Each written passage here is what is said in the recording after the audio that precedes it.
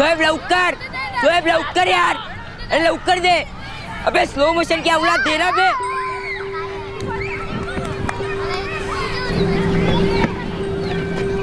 ये अजय और मुबीन पूरा का पूरा पंद्रह ओवर टुकु टुकु करते रहेंगे। अपने को बैटिंग नहीं मिलने वाली। जब मैंने बोला था सबको दो दो ओवर लिमिट है तब राजू तू ही चढ़ गया था ना मेरे पर। हाँ हाँ। चल अब कान मत खा। शोएब लवकर शोएब लवकर यार. अरे लवकर दे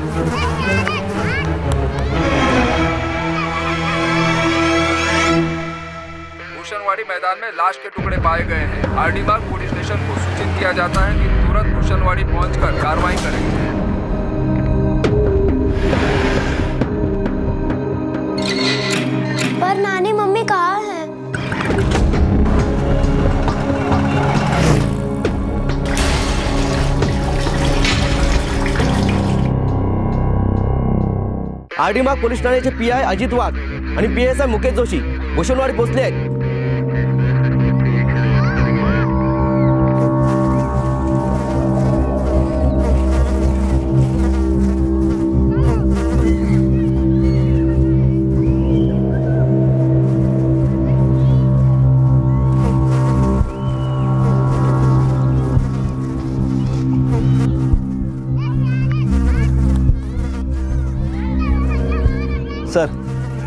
लेडीज़ बॉडी है टुकड़े के लिए नहीं और सर बदन में कोई कपड़ा भी नहीं है। साहब मैं ड्यूटी से वापस आ रहा था अपनी बाइक पर।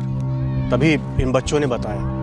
मैंने देखा और फिर आप लोगों को खबर कर दी सबसे पहले किसने देखा था? बेटा क्या नाम है तुम्हारा? राजू। मैं मैं वहाँ वो बॉल लेने गया था और वो पिशवी में से खून आ रहा था। तुमने या तुम में से किसी ने किसी को आते जाते देखा? या वो प्लास्टिक की थैली फेंकते हुए देखा? Auto rickshaw. ऑटो में से कोई उतरा था? हाँ एक आदमी था। ऑटो से उतरा वो थैली वहाँ फेंका और वापस ऑटो में बैठ के चला गया। मेरी नज़र बॉल पे थी ना सर। इसलिए मैं उस आदमी को ठीक से देख नहीं पाया। बेटा कुछ तो याद होगा। हाइट या उम्र या फिर क्या पहना था? नहीं सर। कुछ देख नहीं पाया।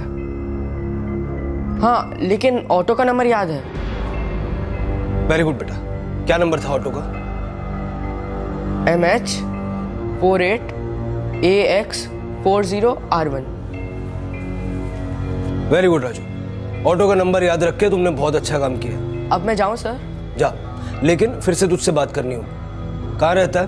अपना एड्रेस दे दे। एक औरत की सरकटी लाश पाई गई जिसके दोनों हाथ और पैर अलग कर दिए गए थे। हत्यारे को बहुत बड़ी और एक आम गलतफहमी थी।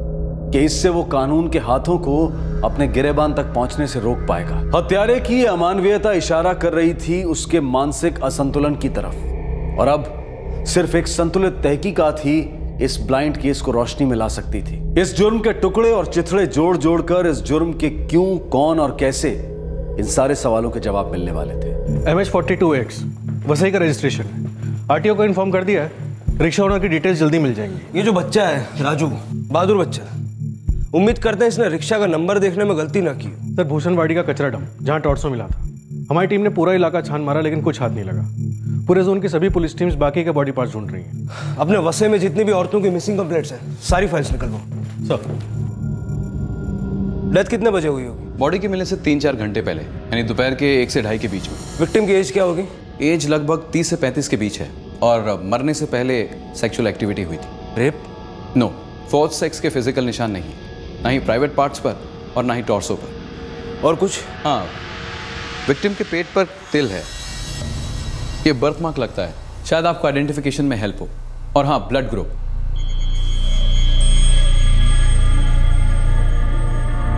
विक्टिम का ब्लड ग्रुप ए पॉजिटिव है विवेक राजेश ने खिचड़ी बनाई है। खा ले थोड़ा आराम मिलेगा। नहीं यार तुम लोग खा लो। क्लिनिक से लौटते वक्त मैंने रास्ते में सूप पी लिया था। अब तो दवाई भी ले ली है। नींद आ रही है। ठीक है।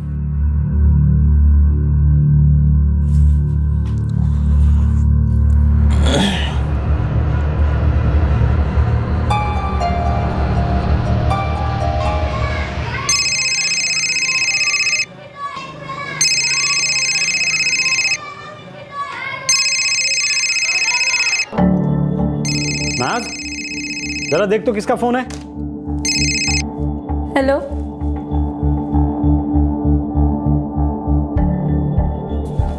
पुलिस। पुलिस?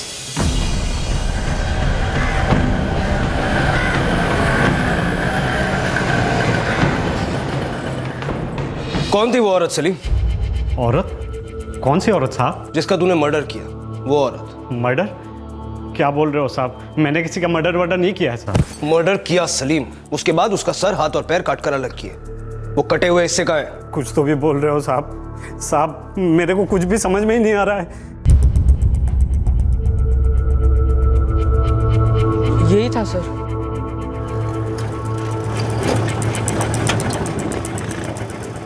फ़र्स्ट गियर में पूछ रहा हूँ ईमानदारी से बता दे। वरना अगर मैंने गियर बदला ना तो फिर ना एक्सेलरेटर रुकेगा ना ब्रेक लगेगा। साहब मैं एक ऑटो ड्राइवर हूँ।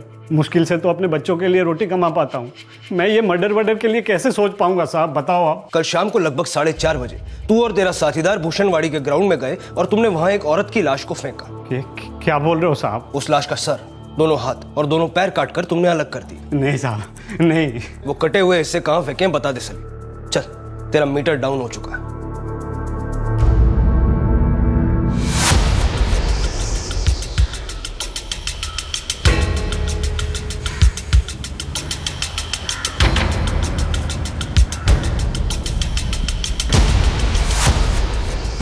सुनो।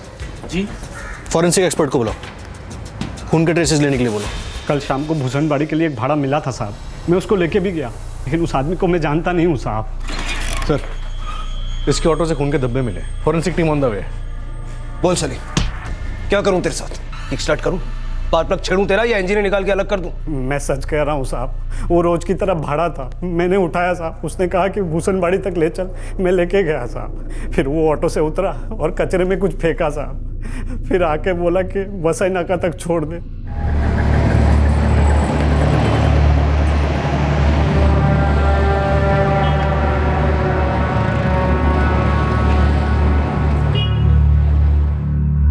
नाम क्या है उसका? रहता का है? वो सब नहीं मालूम साहब। दिन में 25 भाड़ा उठाता हूँ। आज तक किसी का नाम पता नहीं पूछा साहब। सलीम ये कोई आम भाड़ा नहीं था। तेरे ऑटो में एक औरत की बॉडी पार्सल हुई। उसको कचरे में फेंका गया। अब तू बता मर्डर कैसे हुआ और कहाँ हुआ? उस औरत का नाम क्या है और उस आदमी का नाम क्या है? मुझे कुछ भी नहीं पता साहब। वो सिर्फ़ मेरे लिए एक भाड़ा था। उसने हाथ दिखाया साहब मैंने रोक दिया। उसके बाद उसके साथ कोई बात नहीं हुई साहब। भाड़ा कहाँ से उठा? वसई तालाब के पास से साहब।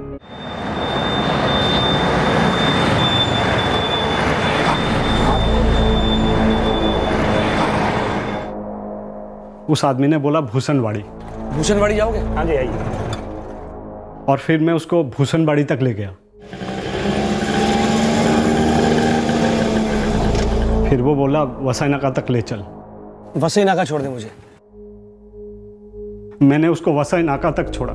मुझे रत्ती भर भी नहीं मालूम साहब कि वो कौन था क्या था क्या फेंका था। तेरा ऑटो अब हमारे ताबे में रहेगा और जब तक हम ना कहें तू वसई से बाहर नहीं जाएगा। ठीक है साहब। और हमारे स्केच आर्टिस्ट को उस आदमी का उलिया ढंग से बताएगा। ये कैसे हो सकता है साहब? मैं 25 भाड़ा उठाता हूँ दिन में साहब। किस किस का चेहरा पट्टी याद रखूँगा। जुर्म के बाद तेरी ऑटो का इस्तेमाल हुआ था। तुझ पे भी शक है हमको कि तू भागीदार है उस खूनी का। इसलिए दिमाग पर ज़ोर डाल और जो भी याद है फटाफट बता दे। ज़्यादा शाणा मत बन समझा?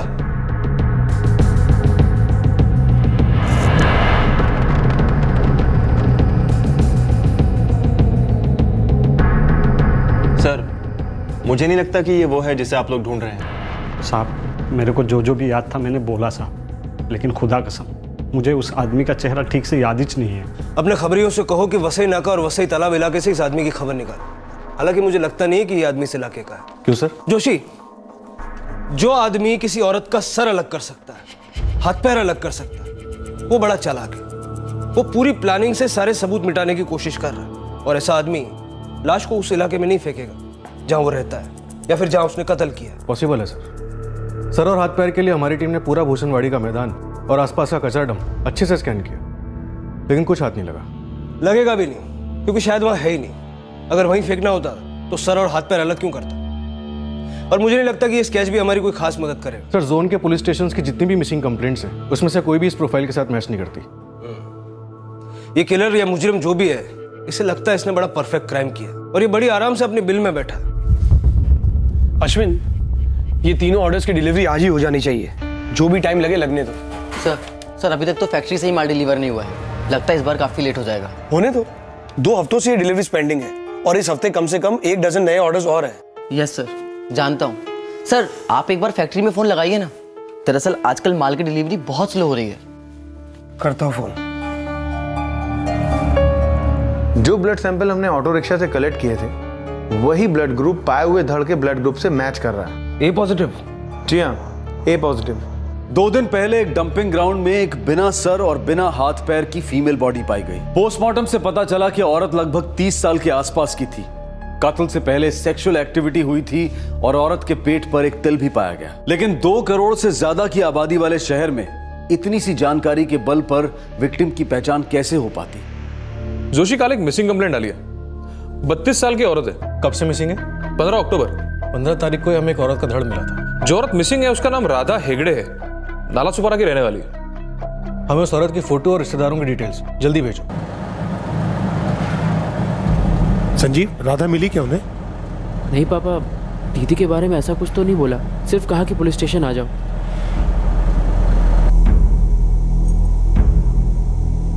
पूजा बेटा मम्मी आ जाएगी? पर नानी मम्मी कहाँ है? तीन दिन से घर नहीं आई फ़ोन भी नहीं किया। मम्मी ऐसा कभी नहीं करती। किसी काम में अटक गई होगी। मामा और नाना जी उसे लेकर ही आएँगे।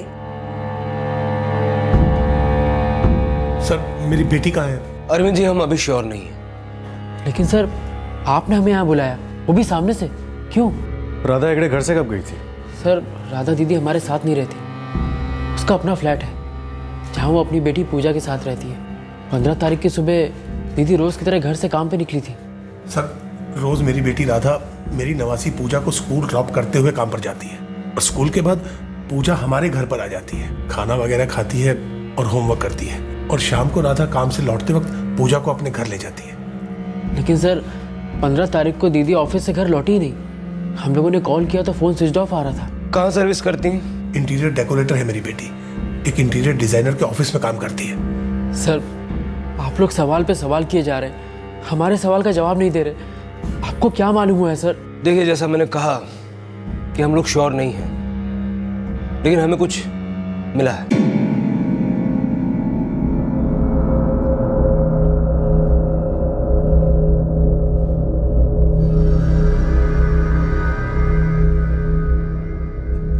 अरविंद जी दरअसल हमें एक फीमेल बॉडी का धड़ मिला है जिसके हाथ सर और पैर काटकर अलग कर दिए गए।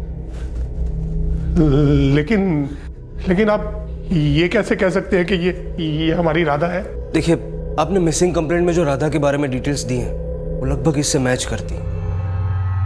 क्या एक बार देखकर आप बता सकते हैं कि यह धड़ वाकई राधा का है या नहीं?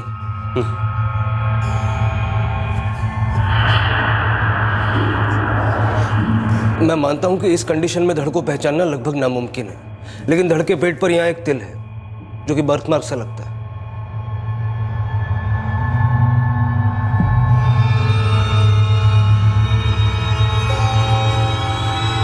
बाय बेटा। बाय नाना। बाय नानी। चलो माँ मैं चलती हूँ। आ जाओ।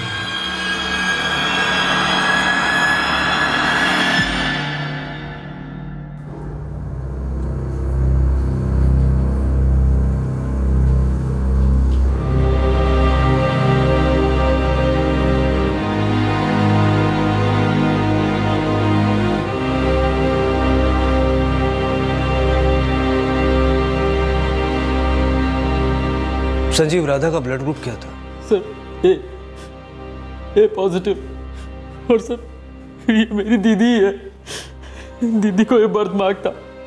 लेकिन सर, ये किसने किया? दीदी का सर कहाँ है? बाकी बॉडी के हिस्से कहाँ है?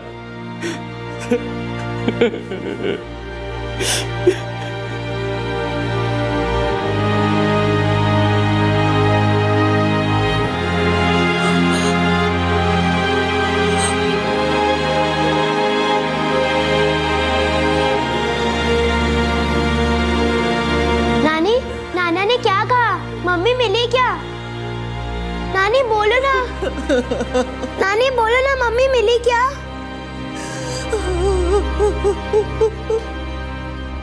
हाँ हाँ आज। कल की बात तो करना ही मत। आज ही मुझे सारी डोमेस्टिक डिलीवरीज चाहिए। अरे समझा करो। अकेले मुंबई की 16 डिलीवरीज पेंडिंग है। और ऊपर से सैटरडे को वो नाइजीरिया वाला एक्सपोर्ट ऑर्डर वो भी तो भेजना है। Try to understand and do fast या ओके संजीव अभी के लिए हम ये मान लेते हैं कि जो दड़ हमें मिला है वो आपकी बहन राधा हेगड़े का है। लेकिन ये कंफर्म करने के लिए हमें डीएनए टेस्ट करना हो राधा का फ़ोन नंबर दे सकते हैं वॉट ओ माय गॉड पर ये कैसे हो सकता है? शालिनी जी जो इनिशियल साइंस हैं जैसे कि एज पेट पर तिल जो राधा के बाद संजीव ने आइडेंटिफाई किए और same blood group A positive सब इशारा कर रहे हैं कि ये धड़ शायद राधा का हो सकता है। Oh my god Shalini ji पंद्रह अक्टूबर को राधा ऑफ़िस आई थी क्या? यस ऑफ़ कोर्स इनफैक्ट पंद्रह को तो उसने हाफ़ डे ले लिया था। हाय शालिनी हाय राधा कम इन शालिनी क्या आज मुझे हाफ़ डे मिल सकता है? प्लीज़ हाँ पर अभी तो सिर्फ़ सवा बारह हो रहे हैं। मैं जानती हूँ लेकिन थोड़ा पर्सनल काम आ गया है अर्जेंट हाँ राधा मैं समझती हूँ पर वो पोदार मुझे फ़ोन पर फ़ोन किए जा रहे उसे डिज़ाइन नहीं भेजे तुमने अभी तक? वो तो एक घंटे पहले ही मेल कर दिया था। एक बार अप्रूवल आ जाए तो फ़ौरन काम शुरू कर दूँगी। ओके तुम जाओ मैं संभालूँगी। थैंक यू और फिर दूसरे दिन सोलह को वो ऑफ़िस ही नहीं आई। तो मैं फ़ोन पर फ़ोन करती रही उससे। शालिनी जी क्या राधा का किसी के साथ कोई अफेयर चल रहा था? सर देखिए राधा मेरे साथ काम करती थी। हम दोनों एक दूसरे की पर्सनल लाइफ में इंटरफेयर नहीं करते थे। राधा का हस्बैंड नितिन नितिन हेगड़े मेरे जीजा जी चार साल पहले चल बसे। कैसे? टीवी। तब से दीदी अपनी और पूजा की ज़िम्मेदारी खुद ही उठा रही थी। जॉब करने लगी थी। संजीव कोई पुरानी दुश्मनी थी? कुछ हुआ था पिछले दिनों? मतलब इतने भयंकर तरीके से कत्ल करने के लिए क्या कारण हो सकता? है सर मुझे कोई अंदाज़ा नहीं है। बल्कि यही सवाल मेरे दिमाग में भी घूम रहा है कि क्यों? मेरी दीदी क्यों?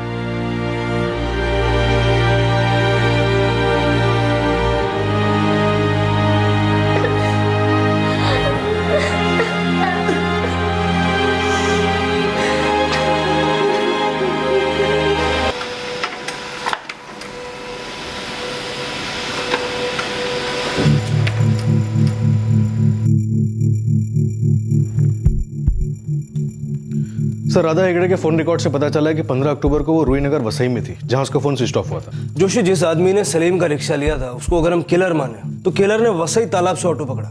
सर वसई तालाब से रूईनगर 15 मिनट का वॉक है। ये राधा का वसई का क्या कनेक्शन है? कोई रिश्तेदार दोस्त? सर उसके माँ बाप भाई बेटी ऑफ़िस सब जगह पता किया।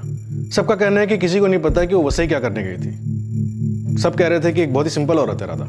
ऐसा तो कहीं नहीं लिखा ना जोशी कि जो सिंपल होते हैं वो कोई बात बड़ी खूबी से छुपाते नहीं है। एक काम करो इस राधा के पिछले छह महीने के कॉल रिकॉर्ड्स निकालो। और हाँ जोशी डीएनए मैचिंग का क्या हुआ? सर उसके पेरेंट्स ब्लड सैंपलिंग के लिए गए। रिपोर्ट्स आने में थोड़ा टाइम लगेगा। लेकिन उससे पहले हमें ये वसे वाला राज क्रैक करना होगा। पता चला डीएनए मैच नहीं हुआ और वो धड़ किसी और ही औरत का है। फिर से हमारे इन्वेस्टिगेशन का न सर होगा न पैर।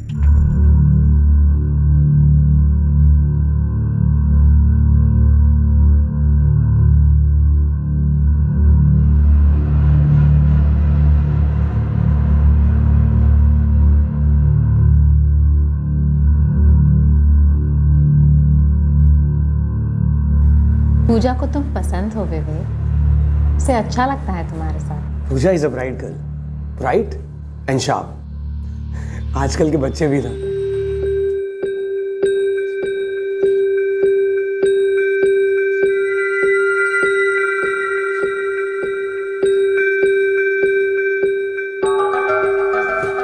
पूजा, तुम्हारा फॉर्मूला एकदम सही है, लेकिन मेरा भी गलत नहीं है। ट्राई करके देखो।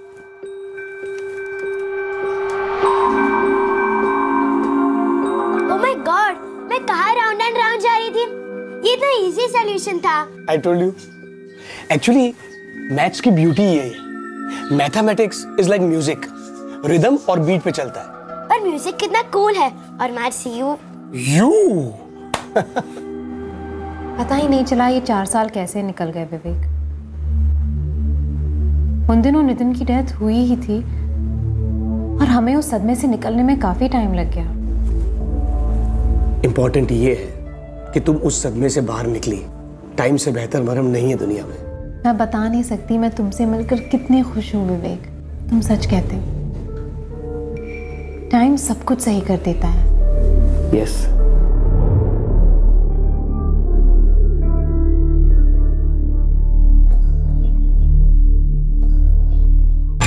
सर ये राधा हेगड़े के पिछले छह महीने के फ़ोन रिकॉर्ड्स हैं। कोई शक करने जैसी बात नहीं नज़र आ रही सिवाय एक नंबर और क्या है इस नंबर की स्टोरी सर पिछले छह महीने में से पहले के चार महीने राधा की इस नंबर पे triple four five six eight six seven पे रोज़ाना बात होती थी। दिन में कई बारी बात हो रही थी। फ़ोन दोनों तरफ़ से किए जा रहे थे। लेकिन पिछले दो महीने से सिर्फ़ राधा ही इस नंबर पे फ़ोन कर रही थी। इस नंबर से राधा को कोई कॉल नहीं आ रहा था। किसका है ये नंबर? कोई विवेक राव है सर। विवेक राव? हाँ सर विवेक राव हमारा रिश्तेदार है। आई I मीन mean, काफ़ी दूर का। पर सर हमारे साथ उसका कोई कांटेक्ट नहीं है। राधा के तो थे संजीव। पिछले छह महीने से दिन में चार चार बार लंबी लंबी बातें हो रही थी। मैसेज एक्सचेंज हो रहे थे। काफ़ी गहरा कांटेक्ट लगता है संजीव।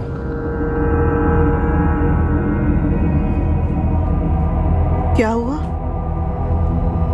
पुलिस कह रही है कि राधा दीदी और विवेक राव के बीच कुछ था। विवेक? अपनी बेंगलुरु वाली पार्वती का बेटा? हाँ। पिछले काफ़ी टाइम से हम मुंबई में सर्विस कर रहा है। हम लोगों से तो उसकी कभी कोई बात बात नहीं हुई। लेकिन राधा दीदी से काफ़ी लंबी बातें होती थी। ऐसा बोल रहे थे इंस्पेक्टर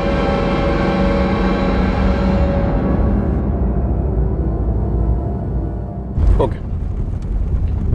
सर राधा का फ़ोन रूहीनगर में स्विच ऑफ़ हुआ था। ये विवेक राव भी वहीं पे रहता है। नकुल पोहा बनाया है। खाएगा? हाँ यार। दे दे। थैंक यू यार।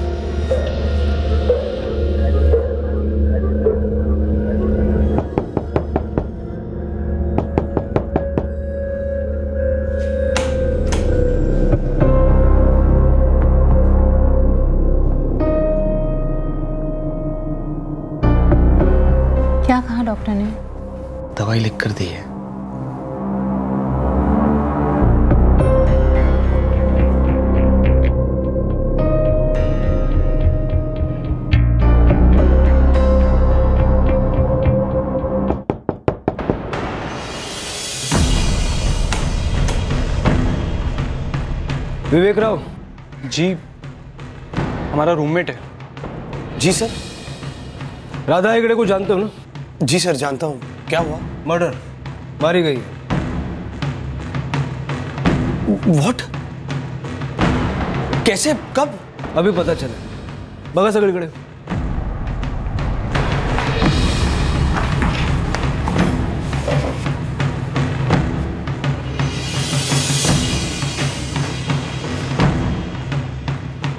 आप मेरे घर की तलाशी क्यों ले रहे हैं सर? सर पहले तो मुझे ये बताइए ये कब हुआ कैसे हुआ? एक फ़ोन नंबर के साथ पिछले छह महीने से राधा की लगातार बातचीत हो रही थी। फिर 15 अक्टूबर को राधा का सेलफोन यहाँ रूहीनगर में ऑफ़ हुआ और हमें गहरा शक है कि राधा भी उसी वक्त ऑफ़ हुई यहीं रूहीनगर में जहाँ तुम रहते हो। तुम एक्चुअली आप ये बोलना चाह रहे कि मैंने Radha oh god I can't believe this sir हाँ सर पंद्रह अक्टूबर को हम मिले थे। वो घर आई थी तुम्हारे? जी क्योंकि मैं बहुत बीमार था सर। हालचाल पूछने आई थी तुम्हारा? क्यों? सर हम एक दूसरे से बहुत प्यार करते थे। शादी करने वाले थे। और अब आप ये बोल रहे हो कि राधा इज़ डेड सर मुझे तो अभी भी बिलीव नहीं हो रहा सर। विवेक तुम और राधा शादी करने वाले थे। लेकिन राधा के माँ बाप या भाई को इस बात का आइडिया ही नहीं था। ऐसा क्यों? राधा विधवा थी सर। वो पहले ये चाहती थी कि पूजा मुझे पूरी तरह से एक्सेप्ट कर ले एज अ फादर फिगर उसके बाद वो पूरी दुनिया को बताने ही वाली थी कि हम शादी करने वाले हैं।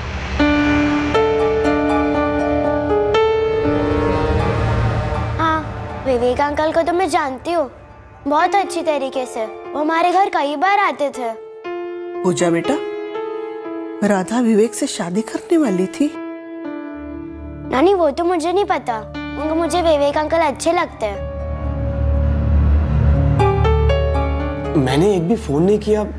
इसका मतलब सर? छह महीनों से तुम्हारी दो तरफा बातचीत हो रही थी लेकिन पिछले दो महीनों से सिर्फ़ एक तरफ़। सिर्फ़ राधा तुम्हें फ़ोन करती थी।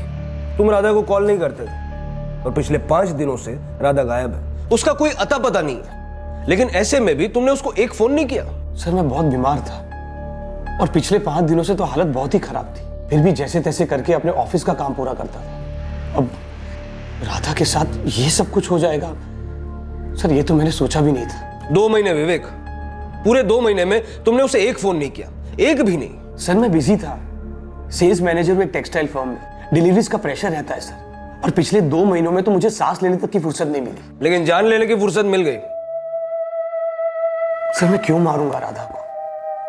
हम एक दूसरे से प्यार करते थे शादी करने वाले थे।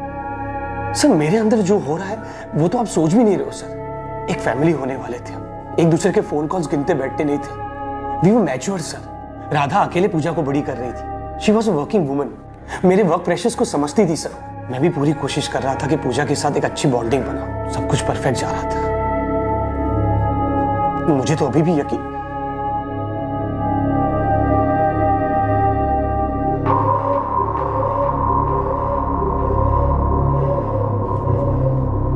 बोलो साहब। मुझे उस आदमी का चेहरा याद ही नहीं है। ठीक से देखा नहीं था साहब। माफ़ कर दो। सर मैंने दूर से देखा था।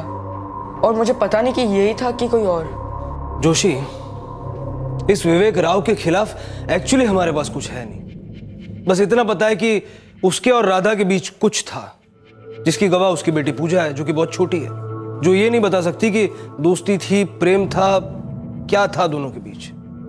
सर राधा अपनी फैमिली से छुपा रही थी समझ में आता है। विधवा थी। ऊपर से विवेक उसका दूर का रिश्तेदार था। लेकिन अजीब बात यह है कि विवेक के रूममेट्स को भी इस बारे में कुछ नहीं पता। मैंने बात की थी राजेश और नकुल से। लेकिन ये विवेक तो छाती ठोक के कह रहा है कि दोनों के बीच प्रेम था। शादी करने वाले थे दोनों। जोशी कोई भी मुजरिम इतनी सफ़ाई से ऐसा बोलेगा नहीं जबकि शक उस पर और जा सकता है। सर हमने विवेक के घर का कोना कोना छान मारा। कहीं कुछ नहीं नज़र आया। सोचा था कि अगर उसने बॉडी घर में कटिंग की होती तो कहीं ना कहीं खून के धब्बे ज़रूर नज़र आते। या फिर घर में पेंटिंग करवाई होती लेकिन ऐसा कुछ भी नहीं। ना ही घर की पेंटिंग करवाई और ना ही खून के छींटे कहीं नज़र आए। लेकिन राधा का लास्ट लोकेशन रूईनगर था जहाँ उसका फ़ोन स्विच ऑफ़ हुआ था। और ये विवेक भी वहीं पर रहता है। लेकिन वो सामने से कह तो रहा है कि 15 अक्टूबर को राधा उससे मिलने आई थी। ना वो छुपा रहा है ना मना कर रहा है। जोशी मुझे मुझे डाउट आ रहा है कि ये धड़ वाकई राधा का है। सर पेट पर तिल स्ट्रॉन्ग प्रूफ है। Same A positive blood group बस एक बारी डीएनए रिपोर्ट्स आ जाए।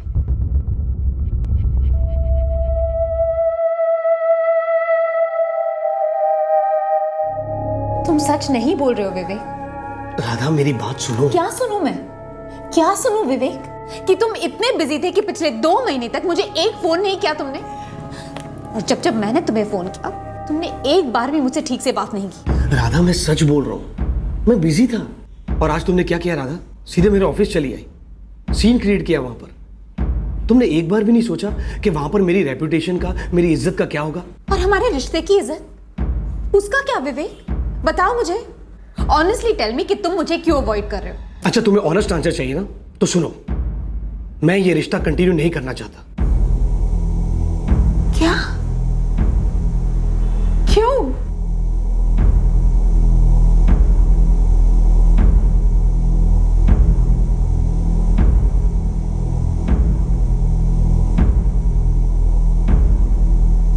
विवेक तुम इस तरह मुझे यूज़ करके नहीं फेंक सकते। इंसान हूँ। टिश्यू पेपर नहीं।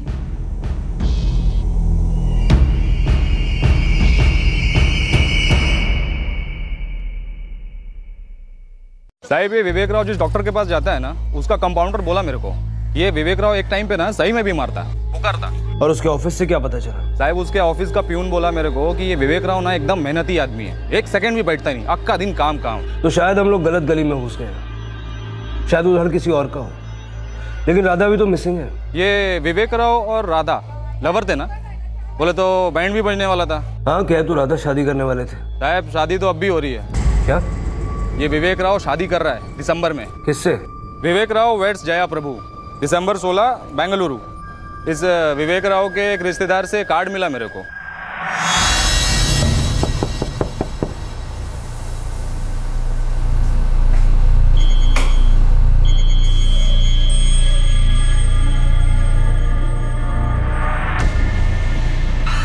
बेंगलुरु की पैकिंग हो रही है?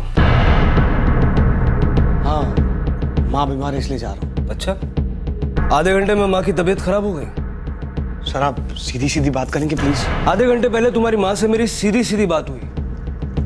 उस वक्त तो आवाज़ सुन के लगा नहीं कि उनकी तबीयत खराब है। जोशी मुझे लगता है हमें गलत फहमी हुई हो जरा फिर से फ़ोन लगाओ ना मिसेस पार्वती राव को।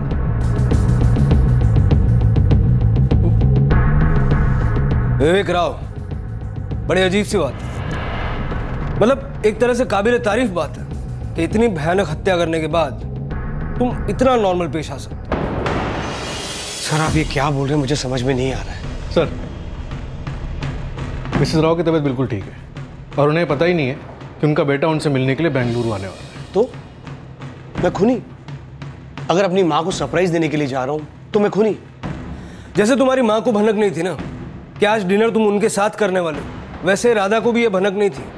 कि आठ महीने पहले तुम किसी जया प्रभु से एंगेजमेंट कर चुके हो? और इस दिसंबर शादी करने वाले हो।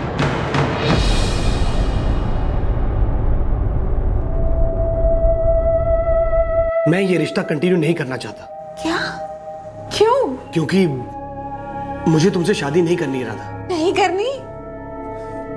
कारण जानने का हक है मुझे? इसमें कोई रॉकेट साइंस नहीं है वही रेगुलर मेरे माँ बाप अग्री नहीं करेंगे कि मैं अपने से बड़ी उम्र वाली विधवा से शादी करूँ। बात की तुमने उनसे? हाँ। नहीं। तुमने उनसे कोई बात नहीं। की हम पिछले दो साल से एक साथ हैं और आज अचानक तुम ये बहाना दे रहे हो। मैं बात करूँगी तुम्हारे पेरेंट्स से। लाओ मुझे दो उनका नंबर मेरी बात सुनो। नहीं उनका नंबर दो अपनी मम्मी का नंबर दो प्लीज़ ऑफ़िस की तरह यहाँ पर ड्रामा क्रिएट मत करो। और मैं कह रहा हूँ ना कि मैंने उनसे बात की है। लेकिन उनका इस रिश्ते के लिए एक बिग नो है। प्लीज़ विवेक तुम मुझे इस तरह यूज़ करके नहीं फेंक सकते। मैं इंसान हूँ टिश्यू पेपर नहीं। राधा तुम्हारे अपने आप को टिश्यू पेपर बोलने से मेरी आँखों में आँसू नहीं आने वाले। कुछ चीज़ें लाइफ में अचानक से हो जाती है। एक्सेप्ट करो आगे बढ़ो। जैसे तुम आगे बढ़ रहे हो। और एक्सपेक्ट करते हो कि मैं तुम्हारे झूठ को चुपचाप मान लूँ। मैं कोई झूठ नहीं बोल रहा राधा तो फिर जया क्या है? सच या झूठ? पता नहीं उसे कहाँ से पता चल गया था कि मेरी जया से शादी होने वाली है। जानने तक तो ठीक था लेकिन वो तो मेरी शादी तोड़ना चाहती थी।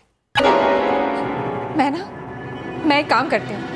मैं सीधा जया को फ़ोन करके बोल देती हूँ कि जो आदमी तुमसे शादी करने वाला है वो पिछले दो साल से मेरे साथ रिलेशनशिप में देखो देखो देखो राधा ऐसा कुछ मत करो प्लीज़ हमारे बीच जो कुछ भी था अच्छा था सुंदर था उसे बिगाड़ो मत प्लीज़ सुंदर तुम्हारे लिए था विवेक। और सुंदर तब तक था जब तक तुम मेरा इस्तेमाल कर रहे थे। मेरे इमोशंस के साथ खिलवाड़ किया तुमने। यहाँ तक मेरे बेटी के इमोशंस के साथ भी खेला तुमने। देखो राधा प्लीज़ पूजा को बीच में मत लाओ। पूजा के साथ मेरी दोस्ती असली है। और मेरे साथ जो रिश्ता था वो नकली था। क्यों किया ऐसा विवेक? मुझमें क्या कमी थी? जो मुझसे शादी का वादा करके तुम किसी और से शादी कर रहे हो। मुझे ठुकरा रहे हो विवेक। नहीं नहीं ऐसा नहीं है। यकीन मानो मेरा। प्यार तो सिर्फ़ मैं तुमसे करता हूँ। और पूजा के साथ भी मेरा लगाव वैसा ही है। इनफैक्ट, तुम दोनों तो मेरी ज़िंदगी का हिस्सा हो। हमें हिस्सा ना बनाओ, विवेक। हमें ज़िंदगी बनाओ। जैसे तुम हमारी ज़िंदगी हो। हमें छोड़कर मत जाओ, विवेक। मत जाओ, हमें छोड़कर। नितिन के जाने के बाद मैं तो जैसे मर चुकी थी। तुम ही ने तो मुझमें जान डाल दी। अब मेरी जान ना लो, विवेक। जान ना लो मेरी। कभी नहीं छोड़ूँगा तुम्हें। कभी नहीं।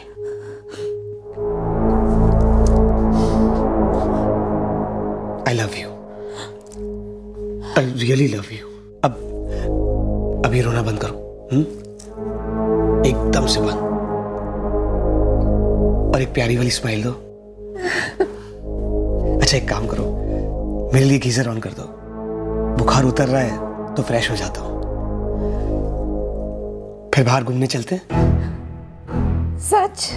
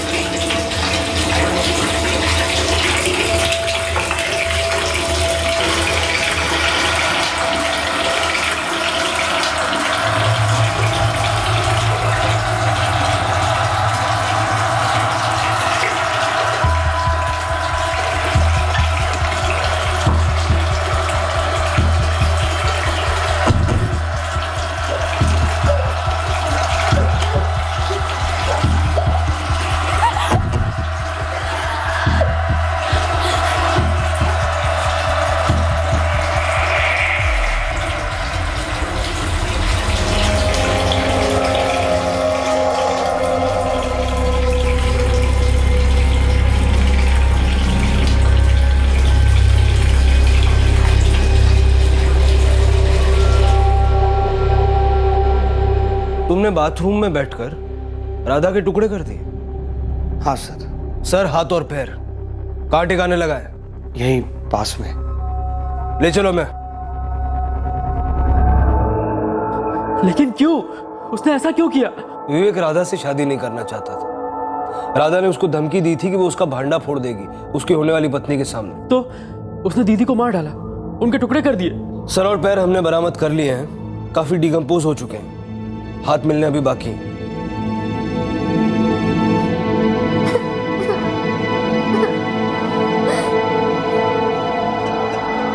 राधा के परिवार वाले गहरे शौक में हैं। और विवेक के दोस्त नकुल और राजेश भी। वो समझ ही नहीं पा रहे हैं कि कत्ल की शाम, रात, अगले दिन, उसके बाद के सभी दिन, सभी रातें, उन्हें विवेक के बारे में कुछ भी असंतुलित महसूस नहीं हुआ। बरामद हुए धड़, सर और पैरों का डीएनए राधा के पेरेंट्स के डीएनए से मैच हो चुका है। वो बॉडी पार्ट्स राधा हेगड़े के ही थे। इतना भयानक मर्डर करने के तुरंत बाद भी विवेक अपनी ज़िंदगी नॉर्मल तरीके से बसर करता रहा। काम मन लगाकर करता रहा, जैसे कुछ हुआ ही ना हो। राधा ने अपनी ज़िंदगी में आए इस धोखे और फरेब के इमोशनल भूचाल को अपने ही अंदर दबाए रखा। और समाधान के तौर पर उसने विवेक को धमकी दी। कि वो उसकी होने वाली शादी को बर्बाद कर देगी अगर वो उनके प्रेम के रिश्ते को बर्बाद करेगा, जिसकी वजह से विवेक ने उसे जान से मार डाला। राधा और विवेक का ये रिश्ता, ये अनबन सिर्फ़ उन दोनों तक ही सीमित थी। यहाँ तक कि उनके सबसे करीबी लोग भी इस रिश्ते से अनजान थे और शायद इस कत्ल से भी सारी दुनिया अनजान ही रह जाती। पर क्राइम नेवर पेस और परफेक्ट क्राइम वो तो कभी होता ही नहीं। अगर राधा के परिवार वालों को इस रिश्ते के बारे में पता होता तो वो दखल दे सकते थे। वो राधा को समझा सकते थे कि विवेक के साथ इस रिश्ते को आगे बढ़ाने का कोई मतलब ही नहीं अगर विवेक को सच्चा गहरा रिश्ता चाहिए ही नहीं, इस कदर भावुक होकर असंतुलित होना, विवेक को धमकाना, राधा के लिए जानलेवा साबित हो गया। विवेक ने जो किया वो भयंकर था। एक असंतुलित मस्तिष्क की विकृति थी। अपने अफेयर के राज को अपने पेरेंट्स होने वाली पत्नी और दोस्तों से छुपाए रखने की फिराक में, विवेक राधा की लाश बिछाकर उस पर से गुजरने को राज़ी हो गया। लेकिन असंतुलन और गहरा होता गया। और उसके बिखरते टूटे दिमाग ने राधा के शरीर के टुकड़े कर दिए। मानसिक संतुलन के कांटे को एन वक्त पर भी सीधा किया जा सकता था। अगर राधा ने अपने इस रिश्ते के बारे में अपनी सहेली, अपनी माँ या किसी भी करीबी से बात की होती तो एक बेटी को अपनी माँ को खोने की ज़रूरत नहीं पड़ती। एक परिवार को अपनी बेटी नहीं खोनी पड़ती। अब मैं अनूप सोनी आपसे विदा लेता हूँ। फिर मुलाकात होगी अगले एपिसोड में एक और चौंका देने वाले केस के साथ। तब तक सतर्क रहें, सुरक्षित रहें और देखते रहें, क्राइम पेट्रोल सतर्क। सबक एक को सीख, हम सबको जय Hind. For more update subscribe to our channel click the show links and enjoy watching the videos